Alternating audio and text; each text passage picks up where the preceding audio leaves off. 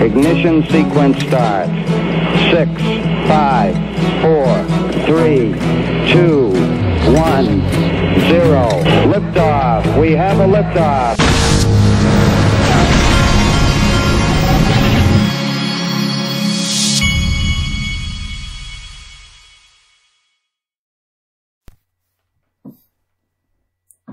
Hey everybody, this is the Digital Asset Investor, and I do have cinnamon in my coffee because that is how I roll. Last night, I sat on my back patio with a fire. I should have sent you all a picture of my little fire I had going. I was I was sitting around a fire with and watching football games with some friends. And what do you think the number one topic of conversation was as XRP shot to 50 cents. I was watching my phone and I can tell you for 1000% certain, I've only experienced what I experienced last night two times with XRP, with, with digital assets in general and crypto. One time was in, I believe, I believe it was Thanksgiving of 2013. I'll never forget it. I was on the back, I was in my backyard. It was dark outside and I was smoking a turkey and there was only one guy in this with me and we were on the phone giddy because we couldn't believe what we were seeing. The second time I saw this was in 2017, which is the bull run that you all know about. I'm popping a wintergreen lifesaver, by the way. So I've got a wintergreen lifesaver. Think about all these flavors here. A wintergreen lifesaver with coffee with cinnamon in it. See, when you're when when we're having XRP prices like this, you can you can do everything. I mean, shoot, we, we just kind of do what we want, right? no, but anyway, I was as giddy as all of you were last night and just staring at my phone. It's kind of, you know, what's weird about when the market gets like this, what's weird about it is you find out that you, you thought that you were nervous when you were buying as as the market was, was doing nothing over the last two years, and and you were questioning whether you were right. Is is is this what I thought it was, and all that. But what's even more nerve wracking than buying those dips when you're not when you're uncertain about the investment itself. I never was uncertain, but I'm sure many people out there were. If if you, what's even more nerve wracking is when the market is going crazy like this and you're sitting there thinking, I could lock in my gains at this and this and this. And it, it, it'll drive you even more crazy, but that's the good kind of driving you crazy. So I'll take it. Okay. Um, let's look. I've got a lot of interesting little things that were said and, and little tweets and, and chart, looking at some of these charts and what some of these people are saying really fascinating stuff. Third, first thing, DJ Peter Voss. XRP rockets to 50 cents as trading volume reaches new all-time high. And then we have this one. David Schwartz was doing a little bit of tweet, uh, teasing over the last couple of days. I think he, he, he says all these things to get, he knows that people will, will immediately start saying, Oh, is he saying the price is going to be $17 or 350? He tweeted this out. According to the step tracking app I installed on my phone last night, I only managed 17 steps yesterday, while today I've already taken over 350. And so everybody immediately starts pontificating. What is David Schwartz trying to say? It's fun to, fun to cover those. All right. Okay. And then this was from DJ Peter Voss the Google, these are the, the Google trends. The searches for Ripple is up 400% between November 15th and November 21st. I am being called by people I don't even know. I'm getting the, here's what's happening to me now. I'm getting text messages where it's like, um, Hey, I've known your brother for a long time. You may remember me. Uh, can we talk? that's the kind of, that's the kind of messages I'm getting right now. And of course I say, yeah, we can talk, but I, I don't even realize some of the people that are out there list that have been listening to me for the last couple of years. But what I do know is in my town, there are some happy campers and some of these are old school, older people who have been listening for a long time, um, who already were doing just fine. you know who you are out there. Um, okay. Catherine Coley. This is interesting. She tweeted this.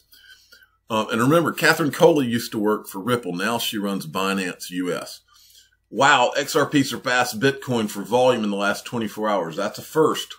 Guess y'all figured out our low trading fees save you 1 to 2% on fees per trade versus elsewhere.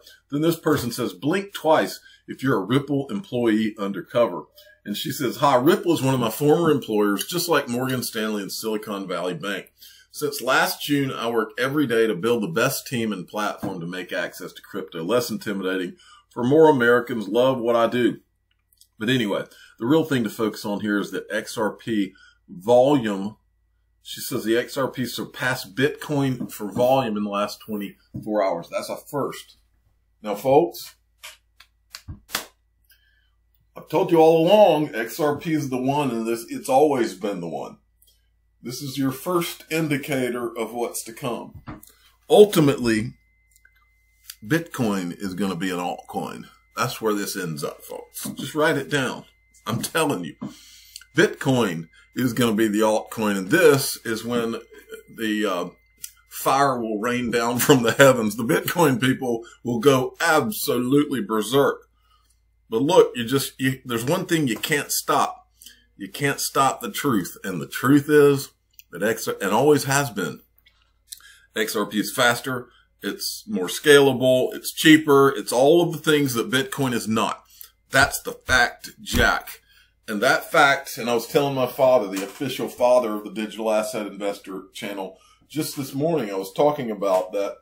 And I was telling him, I was like, look at the, if you look at the new money that's been coming into space over the last 24 hours, it was not a ton of new money, I don't think, it was coming in um, on Coin Market Cap. And I'll show you in a minute. But what was happening was the money was flow, it, the month, the money that was already in was that had, if you, if you remember, Bitcoin's been running up for the last week or two or whatever. But the money that was coming into XRP was being filled. Ultimately, the money is filtered down into the ones that actually have use. I covered that. A guy had written up a tweet like to that effect earlier this week that I covered. That's what's going to happen. Ultimately, the money is going to find its way to the most efficient and the, the digital assets that make sense that actually will be used. That's what's going to happen.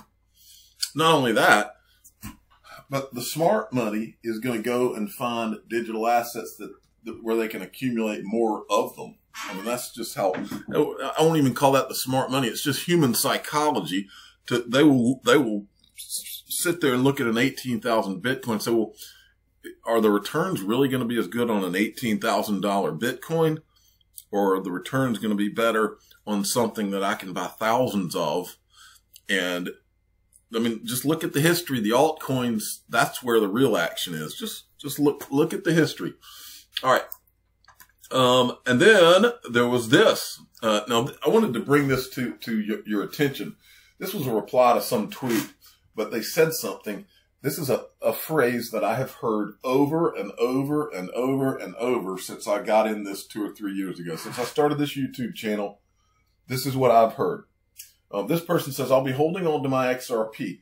There will come a time when we can no longer buy it. It wasn't meant for you and me. This right here is what I have been told. I have heard that phrase right there. It wasn't meant for you and me. I've heard that phrase from 20 different directions over the last two or three years. And it's, it's something every time I see it, I want to remind you of it because it wasn't meant for you and me. I don't think you will be able to buy XRP at some point in the in the coming years. And I hope they let me keep mine so I can lend it to the world. I want to be a help. Um and then okay, here's Fiat Leak. And I, I couldn't remember if, uh, I think I showed this to some of you yesterday. But Fiat Leak, we're at 43 cents. This thing touched 50 cents last night. It'll be interesting to see what happens because last night things really started going crazy when they started to wake up over here in, in Japan. It was really a little, little after, it was further into the day. But this is where a lot of the action is going to come from, and it could happen this evening. We'll see what happens. Um, now let's look at coin market cap, do a little refresh here. Let's see what we're at. Okay, 528 billion. Now keep this in mind. This is what I was telling, I was telling a guy on my back patio last night.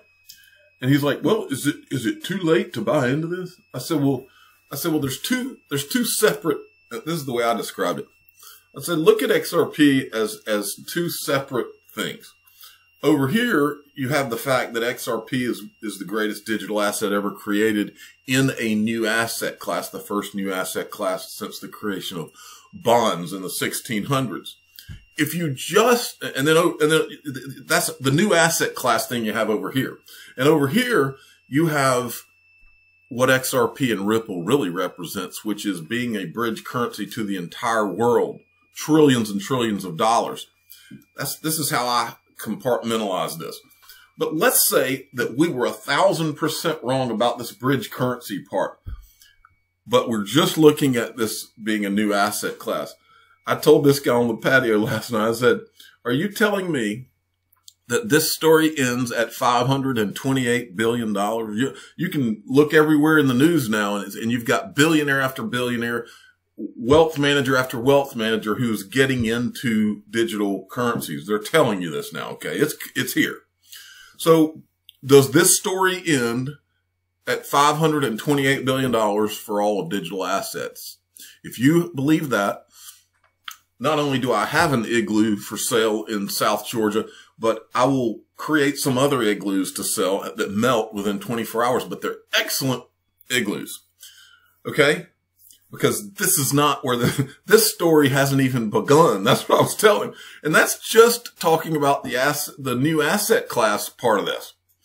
That's not talking about what I really believe we are 10,000% correct on, which is that XRP is going to be the bridge currency to the world. Okay. And that's a whole, that's a whole nother ball game right there. That's a, that's a three, four, five digit ball game for XRP. And I'll show you somebody else that said that here in a second. Okay. Um, so let, let's look here. So anyway, I wanted to uh, repeat this again. I told some guys this last night too. Look at what we have here. 43 cent XRP. It's up on coin market cap. It shows 3.72%, but on fiat leak, it shows 3.12%.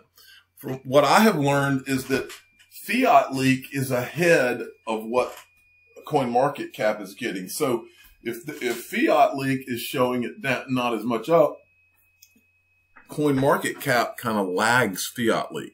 Just pay attention to that. That might help some of you. Now, I wanted to show you all, especially those of you who are just showing up to the party, what has happened this month, okay? Where we were at, here's the close for XRP. Look at right here around, we were at 23 cents. Let's look at November the 1st. We were at 23 cents on November the 1st. XRP has literally doubled in 21 days. Okay. These are not your father's stock market returns here, folks. This is a whole new paradigm. Okay. And I think that we are about to see the not, I don't know, I wouldn't even call it a bull market. I think we're about to see the, the, the, I think we're right now at the very beginning. I think everybody's ready. I think they've been positioning them, positioning themselves for the last two or three years. But I think that the financial system and the, and the people that run this world are ready. And I think that we're about to see something that makes 2017 look like a bad joke. Okay. All right. Now let's look. Uh, I love looking at Coin Paprika, the return rates. I want you to take a hard look at these return rates. I'm refreshing this. Give it one tiny second. Well, if it will refresh, tell me I'm not losing my internet connection. That's going to really irritate me. No! Come on. We don't want that. No. Uh, I'm wondering if that's me or if that's, um, let me stop this. Okay, I don't know what happened there, but here's, this is the coin, uh, paprika return rates. Look at XRP right here. Seven days, 58%, 30 days, 69%, one quarter, 50%, one year, 85%. And, and look, this is after we've been in a bear market for over two years, folks.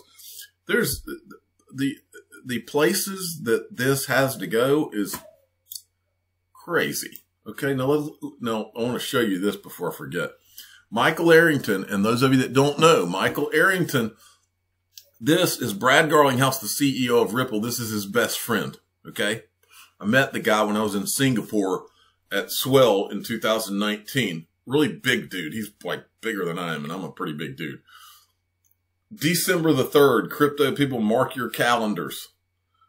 No, when, when he said, and this guy's not some schlub. This is a, this guy's like a venture capitalist out in Silicon Valley and he's really smart guy, started TechCrunch and he's not just saying this. So, um, the craziest thing that anybody can do, in my opinion, is to not be in crypto over the next month.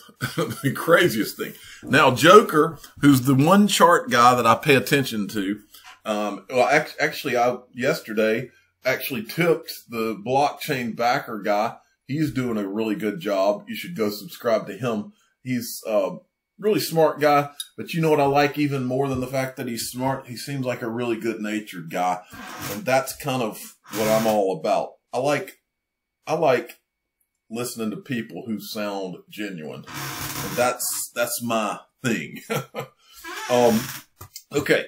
Joker, this, this guy is smart too. He's, he's a trader out of Australia. He says to escape fear, you have to go through it, not around it. Scared money parked in stable coins and banks get nothing but devaluation by inflation. Do you think XRP $250, Bitcoin $250,000, gold 14K is a dream? Let it sink in. Let, let it sink in a bit. And he's got, I don't, you know, like I said, I don't do these chart things, but those of you that pay attention to this type of stuff, I think it's interesting, especially when the market's moving to show you these things. And then he, he's retweeting another of his threads here. Fear and greed. I use this chart to counter trade my fear. Let, let's golden ratios talk. Uh, do you see that 0.61, 0.8 level? Yes, 23 cents. Do you see that 1.61, 0.8 level? Yes, XRP is going there. When? 2023, 2025. It is math. Google it. The importance of golden ratios. Basically, what he's saying is that XRP in the next couple of years is going to go to $250. I believe it's going to do that and more. Um, and I, but, but anyway, he, this guy's an interesting guy that to, to follow. So go give him a follow at Kia Crypto. Okay. And then we've got the crypto granny. Now she is also from Australia and she has a YouTube channel as well. And I've, I've always found her, her stuff interesting, but she is, is calling for a $1,009 XRP. And you, you have to understand her background. She's uh my understanding is that she was a trader uh, that was her career for like 30 years. And sh- so she's no schlub either. She's a very smart lady. Here's what she says. A very simple valuation for xrp on the back of an envelope is this. A total settlement problem in the world including all markets and people is 1.4 quadrillion and this is a conservative conservative figure if xrp captures just 10% of this market the valuation of XRP is $1,009.81 per unit. Put that in your pipe and smoke it, folks. All right. Heo Seiko Carmona. I love saying his last name. He sent me this. Argentina and Brazil get their own stellar stable coins. Partnership between Settle Network and Stellar should make things easier for the unbanked to send and receive remittances. I've always told you on this channel, I believe that XRP and Stellar are brother and sister, and I own them both. Um, and this is further proof. These are the only two digital asset. Well, they're not the only two. There's one or two others, but these are the core two digital assets that I believe are going to be a part of this new financial system. XRP and Stellar. Write it down. Okay. XRP Bart sent me the volume, uh, these volume charts again. XRP Euro the volume is going off the charts here. Well, not off the charts, but the volume is spiking big time. And then this one is the, um, the XRP Mexican peso. So you can see what's going on. It's almost like a switch has been flipped. Now, I wanted to show uh, a lot of you that are new here, there's something coming up that you need to be a part of. Uh, I will probably be in the conference. Um, it's December 8th to December 9th. And this company Linqto what they do is they have these, these global investor conferences. It's like a Zoom call and you can go in and there's going to be they've had billionaires and all kinds of important people, but they, it's out of Silicon Valley and the, there's, you can find out not just about, um, digital assets, but they, they talk about how you can get involved in, in private equity investing on their platform and they private equity in some of these blockchain companies around all of this, including Ripple. And so they, they've, you can go and sign up. They have a link. Here's their, their handle on Twitter is at link to Inc. You can also go to link, L-I-N-Q-T-O dot com uh, uh, on their website. I have, I have links to all this in, my, in the description of my videos as well. But I wanted to bring to, to everybody in XRP land, I want to bring to your attention who's going to be at the conference. Um, there's a lot of people, but this is the guy I wanted to show you. This guy right here, Adam Traidman, is going to be at the conference this time. This is the guy I would like to ask a question to because he, for those of you that don't remember, he's the CEO of SBI Ripple Asia out of Japan. Okay. A very smart guy. And he's the guy that did this interview with um, Thinking Crypto and said this. Listen to this guy is is literally Ripple's biggest fan. Like you know, Kitao-san yes. is trying to make XRP and Ripple successful everywhere. Let me give you an example that'll seem crazy to you, but it's actually true. So there's going to be uh, the next World's Fair. Can you imagine they still have these things? World's Fair is going to be in Osaka in like 2025, something like that. I don't remember. Wow, they still have those? Wow. Okay. Uh, yeah, I know, right? That's what I said, right? it's going, if, if he gets his way, the CEO of SBI. It's going to be if you go there and you want to buy anything from a, a you know Coca Cola to a hamburger, it's going to take XRP. You can only wow. pay an XRP. That's what we're working towards. Wow. Okay? That's just one little example, right? Sure. But more important to that is replacement for international wire transfers in SWIFT, mm. right? So I'm meeting all the time with these like bankers, central bankers. I met with the head of the central bank from Cambodia last year in December. Hmm. Uh, and, you know, they're looking for alternatives to technologies like SWIFT because they want to get out from under the thumb of the U.S. Department of Treasury, which sort of runs the global banking network, right? I mean, it's SWIFT is a Belgian company by definition, but, yeah. you know, it's, uh, you know, th- there's a lot of U.S. influence in, in a lot of things in banking, right? Yeah. And so, you know, technologies like that that are legal uh, like Ripple's tech are, you know, really attractive to, to a, a multitude of parties.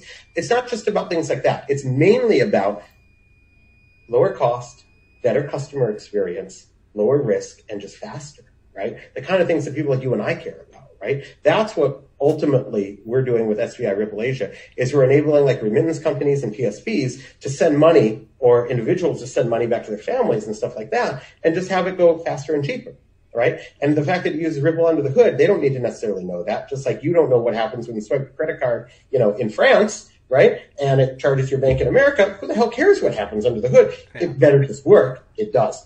Same thing here with this kind of thing, right? And so Ripple Asia's business has been growing because Asia happens to be just a lot more progressive when it comes to, you know, all sorts of payment rails and things of that sort. So um, the, the, the use cases that make the most sense right now are uh, remittances. So, like mm-hmm. I said, folks sending. All right, so very in, that'll be an interesting guy that's going to be at that conference. So go check it out. Um, now this was an, was from CoinDesk today. Uh, Bitcoin should eat, essentially be viewed as a massive short position against the entire financial system, even bigger than the big short. I do agree with this. I, I, even though I, I think XRP is the one, Bitcoin is going to do very well. All the boats are going to, all the significant boats in this game are going to rise. Okay. In this thing, you're going to see, and then over time, you're going to see a, a, lot of them go away and it'll be, it'll be very similar to the way it was in the dot com with, with stocks. You're going to see it er, and with the creation of all the dot com companies, most of which were worthless and built on nothing. You'll see the same kind of dynamic with digital assets. Now, XRP Bart sent me this, and I'm going to finish here. JP Morgan admits, this is from Zero Hedge. JP Morgan admits it was wrong about the end of Bitcoin bull run, renews $140,000 plus price forecast. Isn't it great how these guys can get away with this all the time? Oh, oh, yeah, we were wrong, you know. And meanwhile, they were probably buying while they were saying that it was the end of the bull run. That's how these guys play the game. I'm the digital asset investor. I'm not an investment advisor. This is for entertainment purposes only. Please subscribe and hit the like button and tell your friends and family that we were right all along and XRP is the one and has always been the one. Thank you for listening.